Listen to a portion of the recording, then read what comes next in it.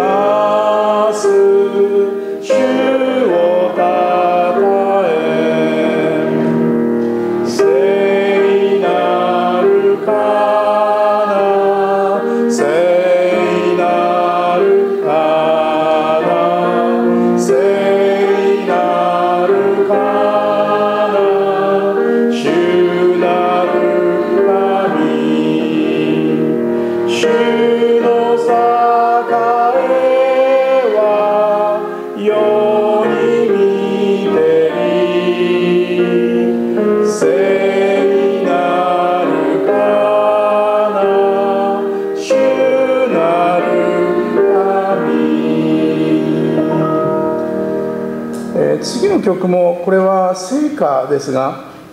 罪とがを許され神の異なりたる我が玉の喜び比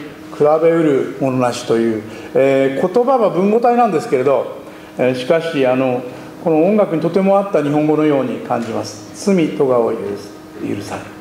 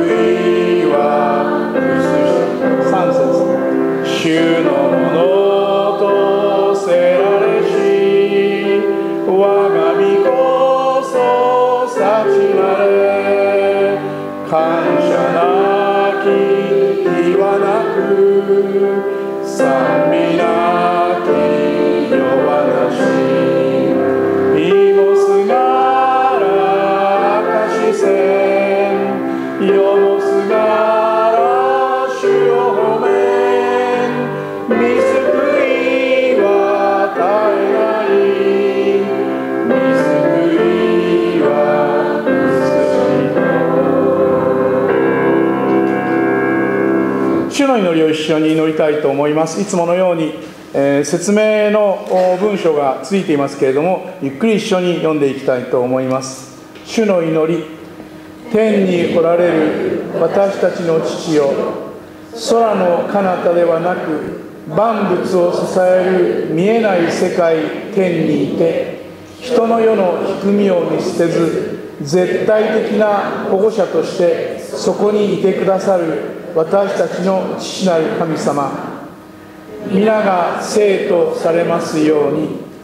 あなたをそのお名前通り聖なる愛と恵みにあふれ誠実なお方であると全ての人が認めますように御国が来ますように御国すなわち救いと平和と喜びによる神の支配が現実の生活の中にもたらされそれによって私たちが神と人とを愛しつつ生きられますように。御心が天に行われる通り地にも行われますように。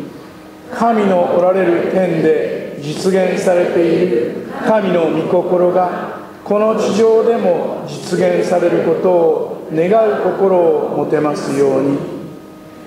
私たちの日ごとの糧を今日もお与えください。私たちの今日の分の食事仕事必要物を感謝とともに受け取れますように。私たちの罪をお許しください。私たちも人を許します。私たちの不信偽り不誠実をお許しください。また許されるためにどれほど大きな犠牲が必要だったかを私たちに思い知らせてください。それによって人を許せるようになれますように。私たちを誘惑に陥らせず悪からお救いください。私たちにとって一番の誘惑は自分の弱さ不甲斐なさに絶望すること。やり直す努力を放棄することです。また何事も争わず対立せず波風を立てずに収めたいという思いも大きな誘惑です。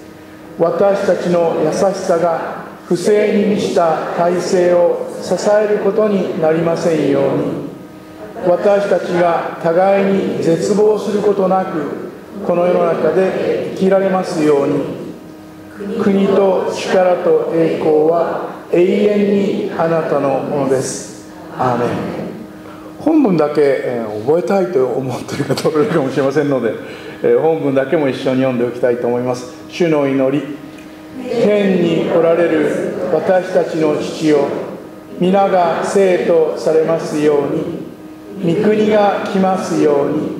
に。御心が天に行われる通り。地にも行われますように。私たちの日ごとの糧を今日もお与えください。私たちの罪をお許しください。私たちも人を許します。私たちを誘惑に陥らせず悪からお救いください。国と力と栄光は永遠にあなたのものです。アーメッセージの前にもう一曲賛美をしたいと思います。これも聖歌からの曲ですけれど「ああ恵み」という曲私あの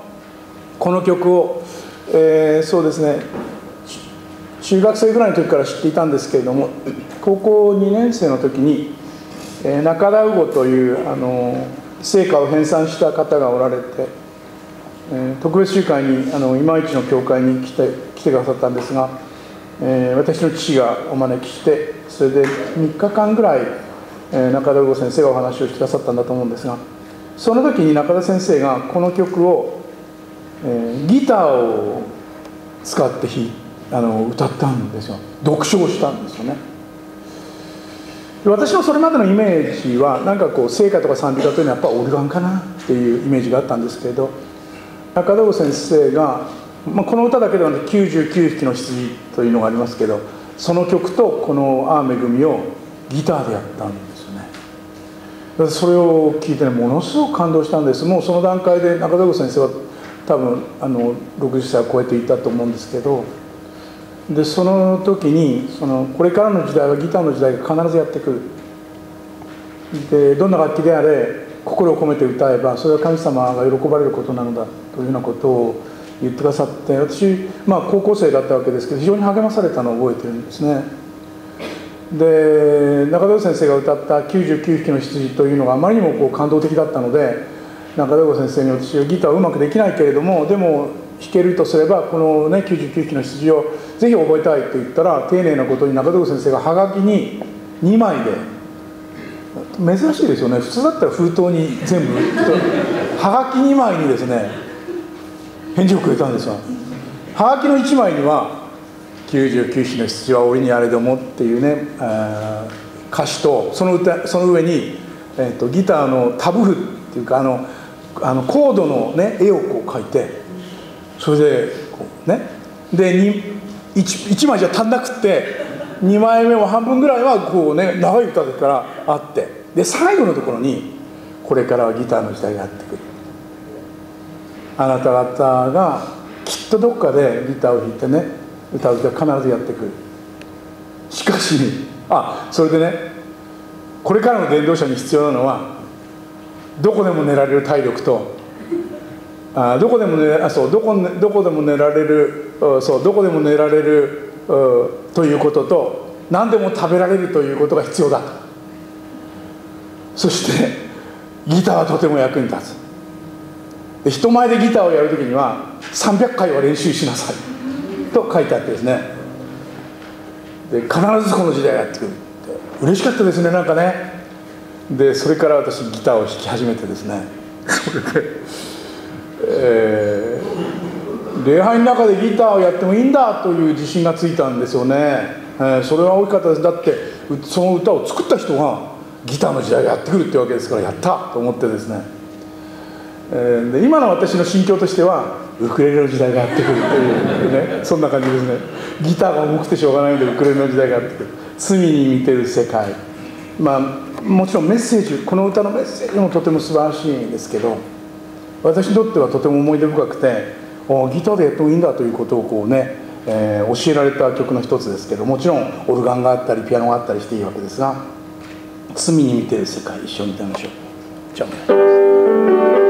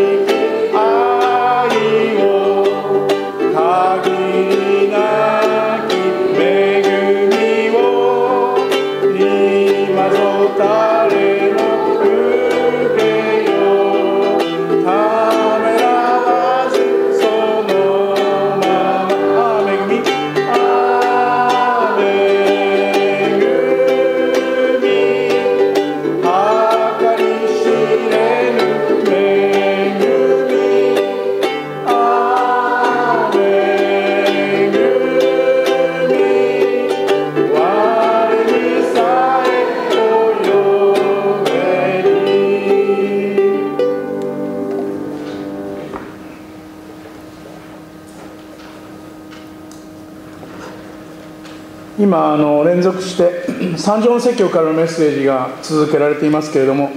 今日のメッセージもその続きで、えー、マタイによる福音書の第5章の8節からの言葉心の清い人たちは幸いですという心の清い人々は幸いである。その人たちは神を見る。心の清い人々は幸いである。その人たちは神を見る。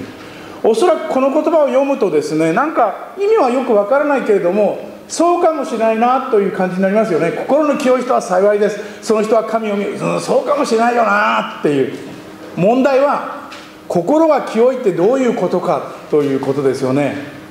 心が清い人は幸いですと言われてうん私のような人間かと思える人は少ないと思いますやっぱり。真面目に考えればですよ。あもしかしたらいるかもしれませんね。いや私にね私にかない人はいないでしょうって思ってる人いるかもしれませんけれど。実はその辺にですねちょっと落とし穴があるような気がするんですよね。でこれ簡単なようで意外とまあ、他のあの三条の説教のメッセージもそうですけれどもちょっと読んだだけではなかなか通じないんですよね。心の清い人は人は幸いです。その人は神を見るというそれはなんか分かるような気がする。心は清い。だから神を見ることができる。それは分かるような気がする。でも心が清いってどういうことなのだろう。ユダヤの人たちにとって清めるという作業えー、まあ、清めですね。あるいは日本的には「みそぎ」という言葉がありますね。清めとかみそぎという言葉はユダヤ人にとってはもう命の次に大事なことでした。どんな時でも神の前に汚れてはいけないのだ。神の前には清くなければいけないのだ。ということを常に意識してですから彼らは手を洗うことは熱心でしたし顔を洗うことも熱心でしたし体を洗うことも熱心でした。神殿に行く時も食事をする時も家に入る時もきれいにして入る、ね、清めて入るその意識はとっても深く根付いていてどんな時でも清められなきゃいけないんだ。きれいにしなきゃいけないんだということを考えていたんです。ただそれはすごく素晴らしいことであり 特にまあ宗教上のということもそうですけれども健康上のことを考えればとても大事ですよね。健康上のことを考えればこれはいいことですよ。足を洗い手を洗い顔を洗い体を洗いね、ばい菌を全部洗って食事をする。まあ大体食事と結びついちゃいますけどとにかく清めるってそうもうその一般生活の中でも重要なことですけど彼らはしかし神の前に手を洗う。神の前に足を洗う。神の前に顔を洗う。神の前に体を洗うということをとても大事なこととして考えていたんです。ところがいつの間にかそれが洗えばよいのだというところに落ち込んでいくんですよね。洗いさえすればよいのだ。別に本気でなくても洗えばいい。別に何がね何がこう不足をしていたとしてもとにかく洗ってしまえばこっちのものみたいな感じですよね。ですから習慣的にはどこに行っても洗うということができてますから外側を見るとおおあの人なかなか信仰深い人だねというふうに思えるわけですよね。どこに行ってもそれしますから。今でもそうですよね。レスターに行ったってどこ行ったって、えー、洗う。まあそれは日本の、うん、神社に行ってもお寺に行っても清めの場所ってありますよね。どこの世界も一緒なのかもしれません。しかしそれがあまりにもこう形式主義に落ち込んでいって格好だけ外側だけその儀式だけということになっていった時それはとんでもない神との本当に清い交わりを作るための大きな大きな妨げになるようになってきました。洗っているのだからもういいのだ。そんな心の中を詮索する必要はない。そんな心の底からなんて考える必要ない。洗ってしまえばこっちのもの。ファリザイ派の人たちの中にはそれが特に目立ったもんですからイエス様は新約聖書の中で厳しい言葉を語ってますが立法学者とファリサイ派の人たちに対して特に厳しい言葉を語りました。に書いておきました。これはほんの一部ですけれどマタイの福音書の23章23章全体が厳しい言葉ですが立法学者とファリサイの人々あなたたち偽善者は不幸だ。杯や皿の外側はきれいにするが内側は強欲と放縦で満ちているからだ。物の見えないファリサイ派の人々まず杯の内側をきれいにせよ。そうすれば外側もきれいになる。そしてその後にあなた方は白く塗った墓のようだということを言うんです。外側は白く塗られてきれいだけれども内側は腐れで満ちているということを語るんですよね。つまり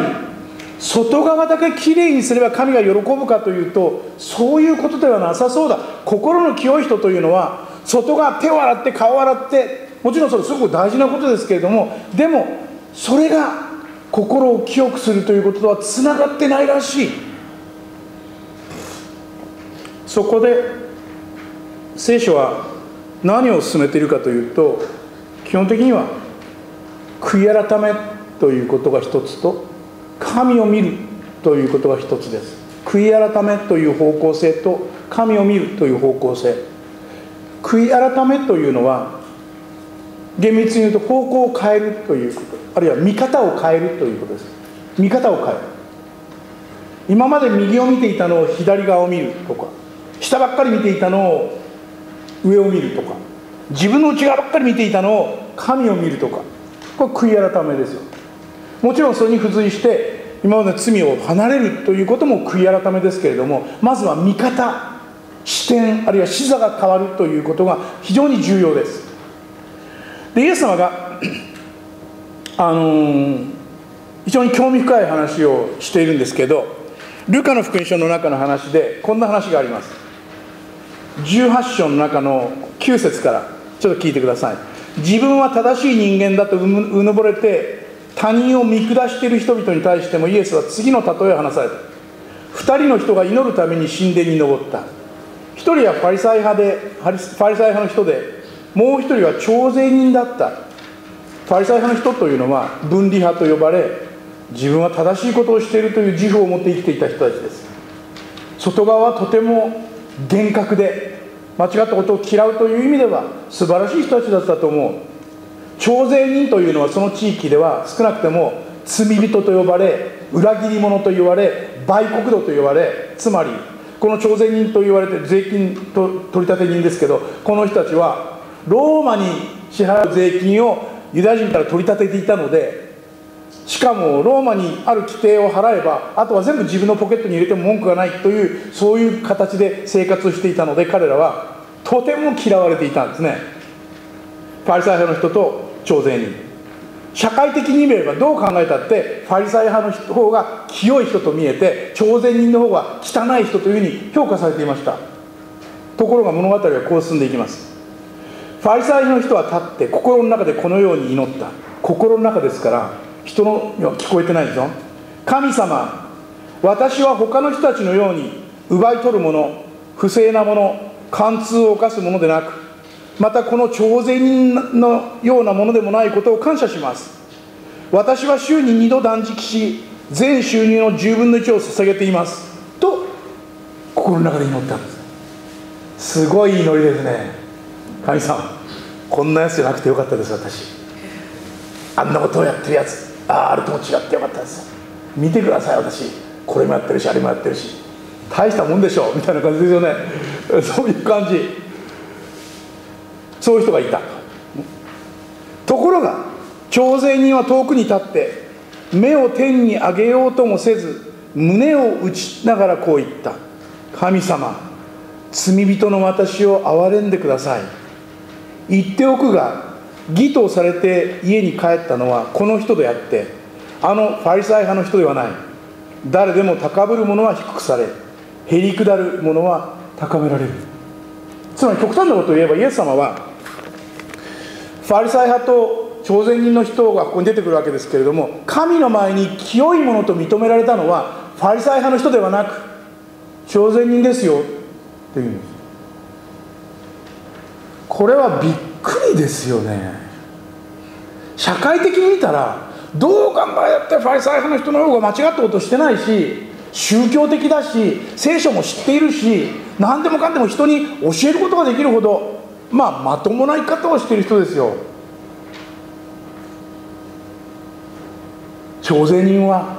世襲つまり自分の親もその親も徴税人だったからしょうがないといえばしょうがないんですけれどもまあお金を取り立ててローマに納め相当な額を自分の懐に入れねやがれながらやがられながらもとにかくそれをこうやっている。でもその中で自分の中に両親の呵責を覚えこれじゃダメなんだよな本当はなと思いながらでも仕事とかやんなきゃなという、まあ辛さを覚えながらでも神殿にわざわざ神殿に行ってまあだから献金もしたでしょう。で神殿に行ってもうもう本当にもう神様に合わせる顔がないような表情で神様罪人の私を憐れんでくださいとしか言いようがない。イエス様は神の目の前に清しとされたのは徴税人だ。心の清い人は幸いって言うけれどこの徴税人はその心の清い人の立場に立ってるよっていうどういうことなんでしょうね。2人とも自分のことを見てるんですけれどもファリサイ派の人は自分の中にほとんどこれはちょっと言い過ぎかもしれませんけれども自分に対する誇りと自慢ともしかすると神と等しいぐらい清い私なのだという自意識があったかもしれません。そして心の中に深くあるのは人との比較であり負けることは嫌いでごめんなさいということは嫌いで人から指摘されることは嫌いで神様からも指摘されることは嫌いで私はこれやってきました。あれもやってきました。こんなことやってきました。神様文句ありますか？っていう感じのそんな感じの言い方ですね。これあの真面目で実直で誠実でいろんなことをとにかく背負い込んでそして一生懸命やってる人の中にいつしか起こりやすい心の一つです。比較しやすい。ごめんなさいと言えない。私はこんなにやってるのにということばっかり主張したがる。イエス様はそれはファリサイの人たちの中にあった心であって神が求めてる清さとは違うよって言うんです。神が求めてる清さというのは教然人は胸を打ち叩きながら上を見上げようともしない。そう自分の目は決して上を見ようとしない。つまり神様を見る力もないし神様を見る資格もない。という自覚があるんですよ。でも彼は自分で頑張ってこの心を変えなきゃダメなんです。神様私に力をください。私なんとか変えなきゃダメなんです。そんなことは祈ってないんです。自分の力で自分を変えようなんて思ってないんです。こんなありさまですけど主よ憐れんでください。と。上を見ているんですよね。わかります？時々私たちは悔い改めということを考え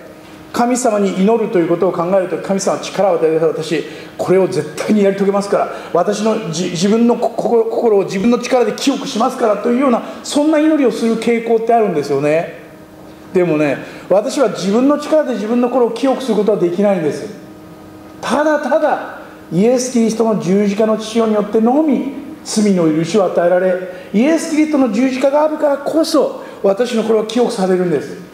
もっと別の言い方をするとイエス・キリストの十字架の血があるからこそ私たちは今までは神と無関係だったのに神との関係においては違法人の関係であったのにイエス・キリストのおかげで私は神と身内の関係にこう入ることができるようになった。私たちは自分の力で自分の心を義と認めさせるということができない。自分の力で自分の心を神に認められるほど清くさせることはできないのです。でもそのことが分かったらどうどうすればいいかというと私は何にもできないので神様に憐れみを求めること以外できないんですよ。神様こんなありさまですけど憐れんでください。神様こんな哀れな私ですけども許してください。とイエス・キリストに信頼して神様に憐れみを求めること以外できないんですよ。この徴税人はただただひたすら自分の内側を見てがっかりして自暴自棄になったり自分の内側を見て自己憐憫に陥ったりするんではなく自分の内側の汚さを自覚しながら顔を上げることもしないけれども心は上を見て神様こんな私でがこんな私ですけれども憐れんでください。というそういう決意を表明するんです神に信頼するという神を見るという。自分の目は神を見る資格なんかない。でも心の目で神を見て神様私を憐れんでください。と言いながら生きる。罪ある者しかし罪許された許された罪人として生きる。許された罪人として生きる。許された罪人というのは人から見たらあんたダメだよねあんなことやってたよねとか。あんた相変わらず弱いよねとか。あんたイエス様信じてるって言うけど何なのそれとか。そういうふうに言われることでいっぱいあるんですよ。でもそういうことがあることを承知の上でそれも全部受け入れてその通りなんです。でも主よ憐れんでください。というそういう生き方を願いつつ主を見上げる。それがね心の清い人なんですよね。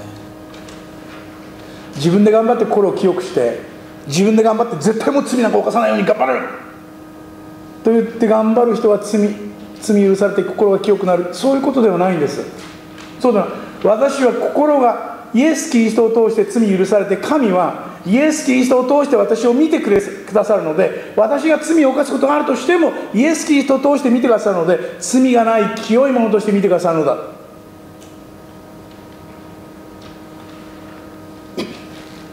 こういう話をしようと思って意外とですねさてさてどうやったら分かるかなとか自分で話をしてどうやったら分かってもらうかなとかいろいろ考えるわけですけれども。何回もこれ話したかもしれませんが例えば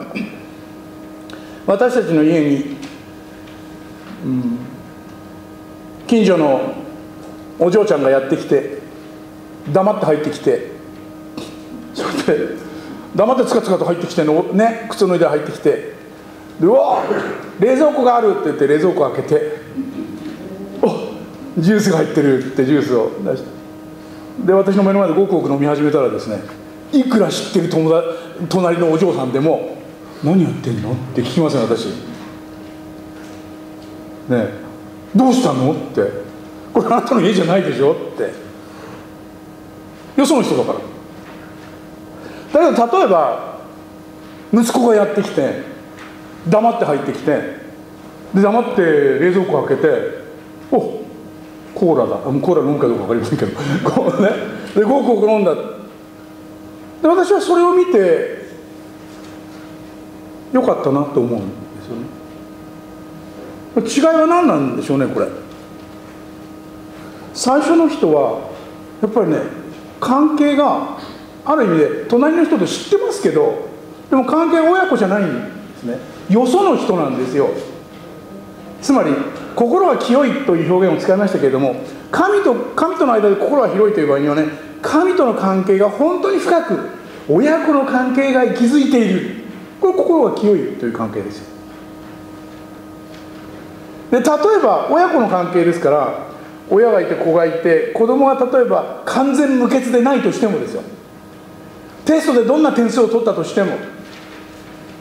多少やんちゃなことをして叱られることがあったとしてもやっぱ息子は息子娘は娘ですよ。でやっぱ親は守りますよね。親は出て行って謝ることもするし大丈夫大丈夫とも言うし頑張ってねとも言うし心の清いという神との間で心が清いという関係は罪が全然なくなもちろん清いという表現は罪が全然ないという言葉ではあるんですけれどもでもそこにあるのは神との関係が本当にこう揺るぎなく妨げのない状況になっているのだ。親子関係が息づいているのだ、ね、それはイエス・キリストによってですよ。イエス・キリストによって罪許されて親子関係が成り立っている。そういう人はね心が清いという関係なんですね。でも別に親子関係はないけど隣にあることは知ってるからって言って黙って入ってくれば断られますよねそりゃ。関係清清くない清くないってことはないけど知ってるけど一応断って入りなさいよって言うですよ。関係が違うんですね。そういう意味で私はイエス・キリストを信頼した時罪が許されるということを経験します。しかし罪が許されるんですけれども罪を全然犯せなくなるということではないのです。犯せちゃうんですよ。失敗もいくらでもできちゃうんです。やろうと思えばどんなことでもできちゃう。もちろん御言葉が心に蓄えられ精霊が心の中で赤信号を灯しますから前よりははるかにいろんなことが抑制が効くようになってきますけれどそれでも失敗を犯す罪を犯すこともあるんです。にもかかわらず神は大きな憐れみを持って許し続けあるいは慰め続けあるいは戒め続けて成長させてくださるので神は相変わらず心の清いものとして私を取り扱おうとしてくださっているのだ。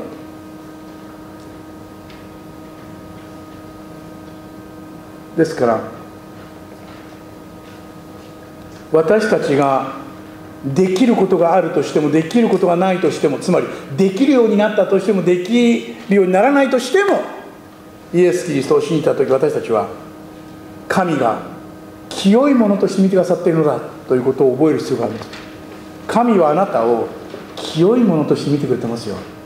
でその時えー、そんなこと言ってた私こうですよああですよそうですよこうですよ、ね、でもね神様はね分かってますよって言うんですよ。分かってますよ。だからこそイエス・キリストがあなたのために死なれたのだし。分かってますよ。だから憐れみを求めながら生きていきなさい。恵みを求めながら生きていきなさい。こんな私ですけどよろしくお願いしますって言いながら生きていきなさい。それを続けることができた時私たちはね神を見るんですよ。つまりもう底なしに恵み深い神を見るんです。ところが私たちの傾向性としてはそういう状況になった時あこんなことやっちゃった。あんなことやっちゃったっていうのがふと思い出す時ね。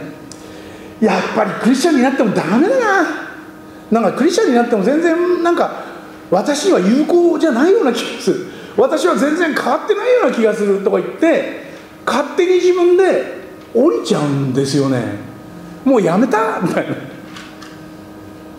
それはね自分を見ちゃってるからなんですよね。私は、ね、自分を見たら比較の中に落ち込んでいくし自分を見たら絶望するんですよ。そんな時私たちはイエスを見る必要があるんです。そんな時私は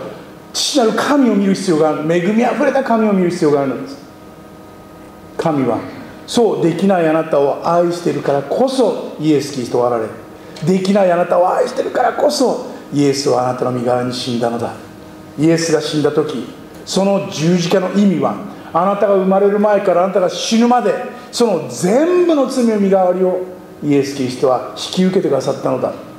ということなんです。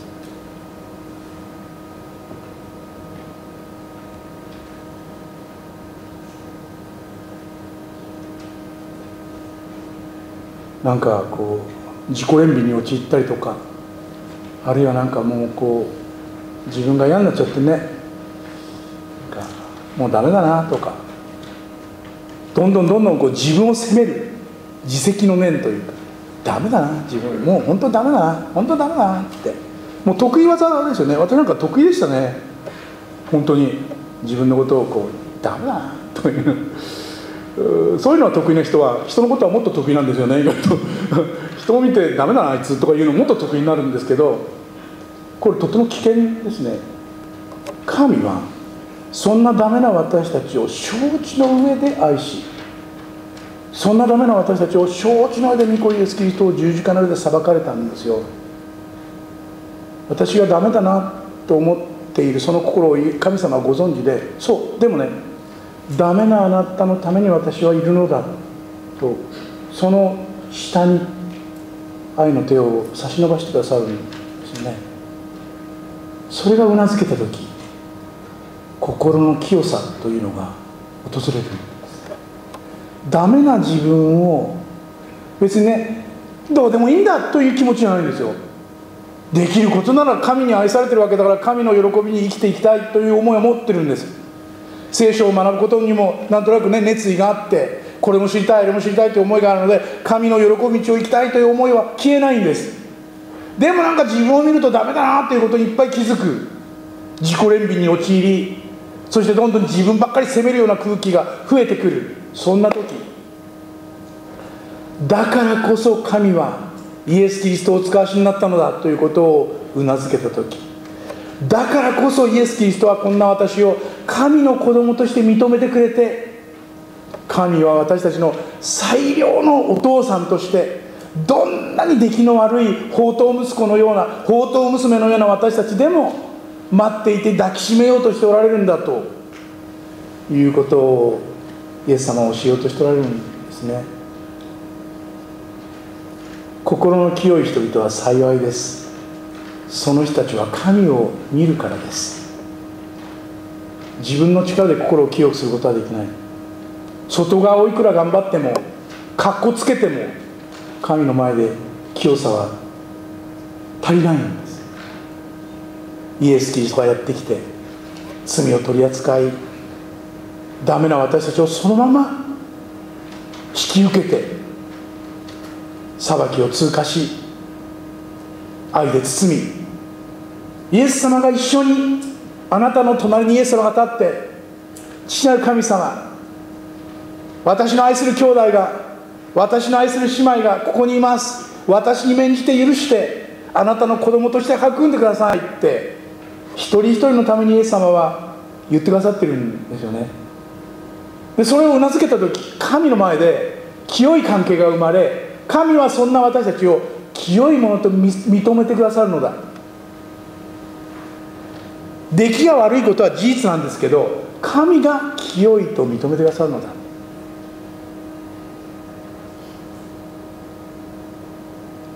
人間関係でもそうですね。こんなことやっちゃったからもうダメだ。と子供が言った時いやいや大丈夫。大好きだよ。って子供に言えたらそれは素晴らしいことだと思う。でまたしばらくして同じことをやって待てダメだ。って子供がね言った時いや大丈夫。私謝っとくからでお前も反省してるんだし大丈夫だよ。って言えたら素晴らしい。でも子供がもしかしてダメもうこんな状況だから。申し訳ない。もうあまりにも申し訳なさすぎるのでお父さんと縁を切るからって言われたらちょっと待てっていう感じですよね。でも怒りえますよねそういうのって。ありますよね。こんな迷惑かけたら申し訳ないからもう縁切りますからって。いやそれはね親不幸だと思いますよ。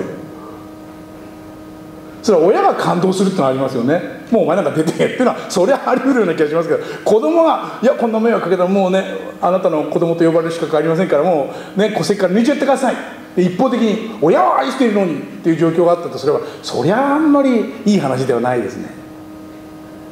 神様は私たちを縁切らないんですよ。大丈夫って。大丈夫。分かってるから大丈夫って。そしてその愛の深さは底なしです。神は清い愛で私たちを愛し包み許し私たちはどんな時でも神に属する子供として神の愛を受けられるということをイエス様は教えようとしております。だから私はもうこれをやってるから大丈夫なんだ。もうこんなことできたから大丈夫なんだ。というところにとどまらないでできないこともできることもあるけれどもできることもできないこともある凸凹な私だけれどもそんな私を神はそのまんま愛して受け入れて私を神の子供として愛の目でいつでも清い愛の目でずっと守りずっと見続けてくださるのだ。というところに自分を置くことができた時。私は人の前にも神の前にも誇るものは何にもないけど絶望しないで生きていける。という状況が生まれます。神の前でも人の前でも誇るものは何にもないけどでも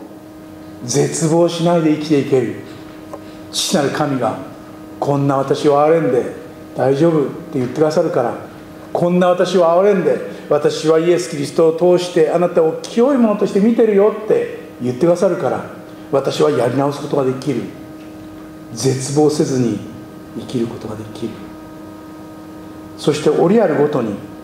神の恵み深さの中に私たちは神の麗しさの一部分を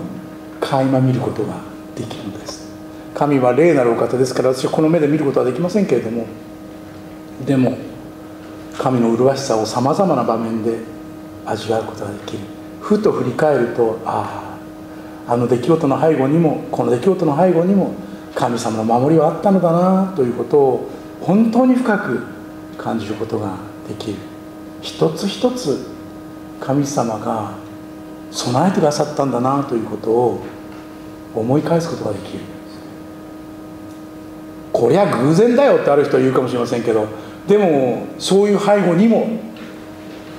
神がちゃんと手を伸ばしてくださっているということを私は味わうことができる。最近ちょっと思い出したことがあるんですけどオーストラリアの進学校が終わっていよいよ日本に帰る段になった時ふと気が付くと私にはお金がありませんでした。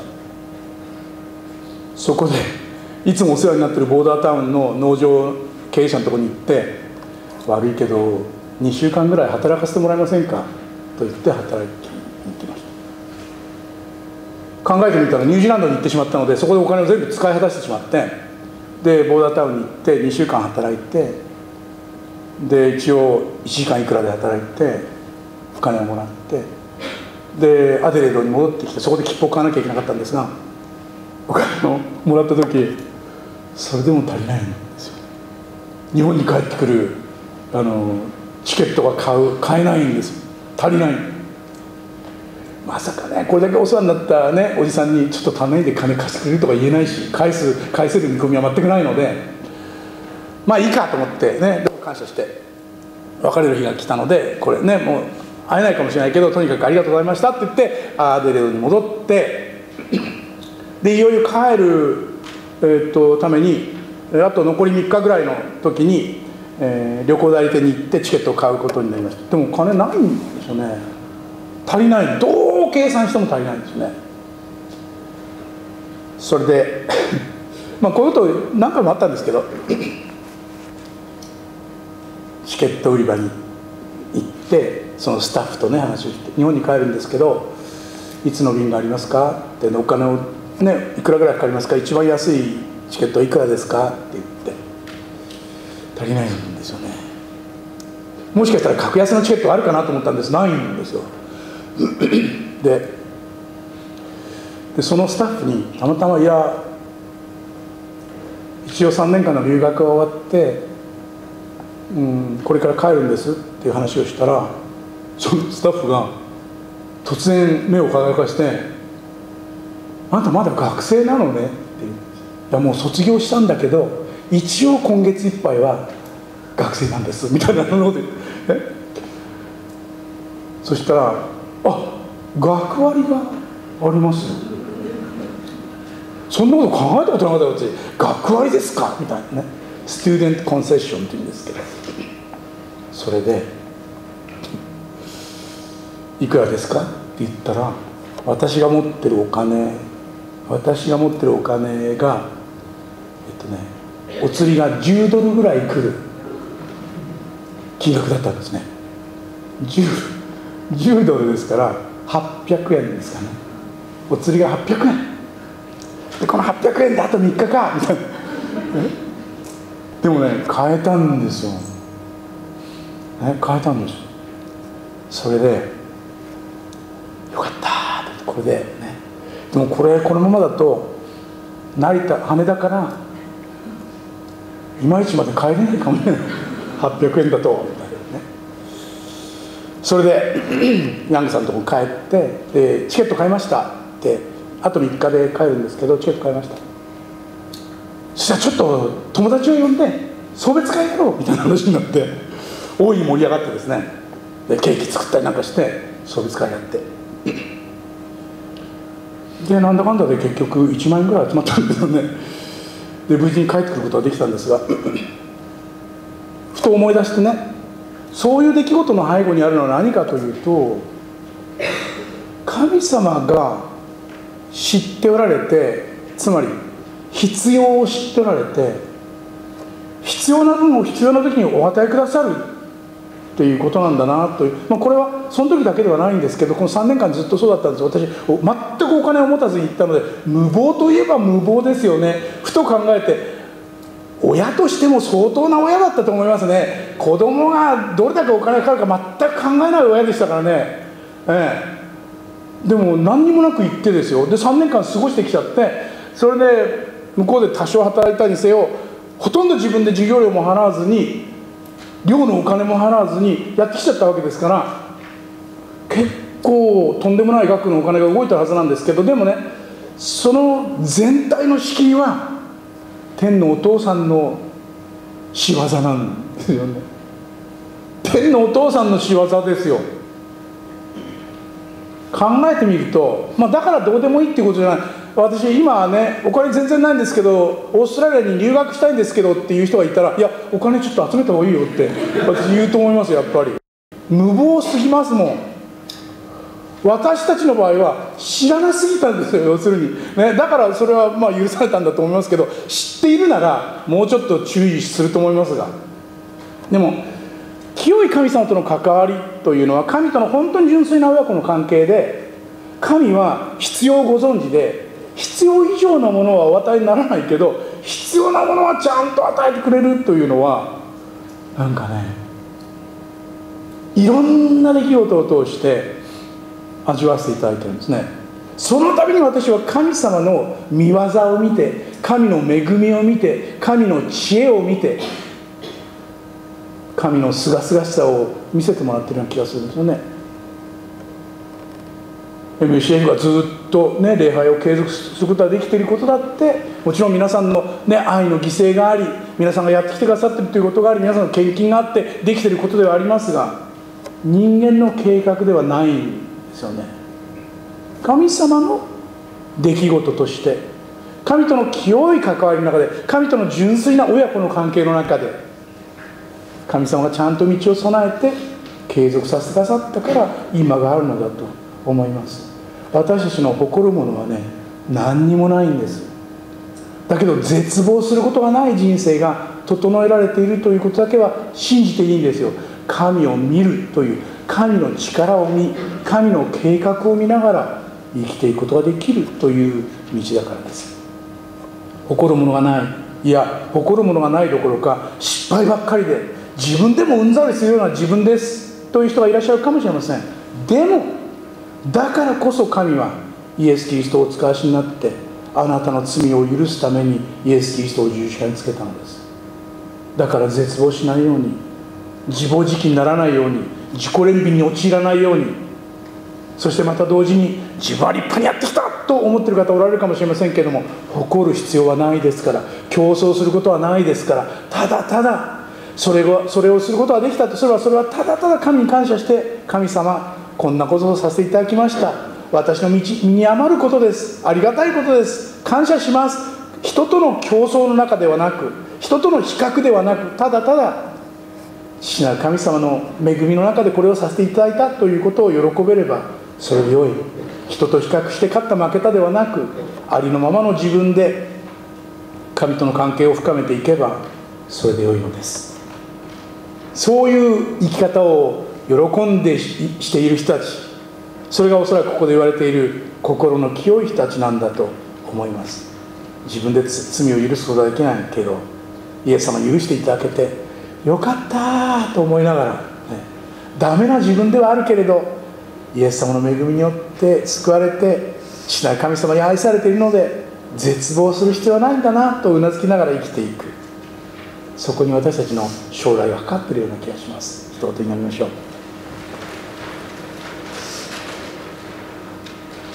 恵み深い天の父なる神様私たちは自分たちのやったこと自分たちのできることばかり見ていると比較の世界に落ち込み優越感に陥ったりあるいは逆に自己憐憫に陥ったりしてどうも心が落ち着かないような状況になってきます。でも今日そういう状況ではなく清い神様との清い関わりの中にしっかりと慕っていればよいのだと考えることができたことありがとうございます。どうぞありのままで本当に何何一つ隠す必要なく恵みの中に行こうことができるように神はイエス・キリストを通して私たちを罪許された罪人として見ていてくださるということを誇りに思い喜んで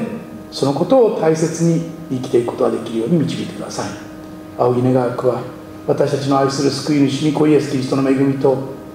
父なる神の愛と精霊なる神の親しい交わりとが私たち一同と共に限りなく豊かにありますように。アーメン。いつものように God bless you を賛美して礼拝を閉じたいと思います。じゃあお願いします。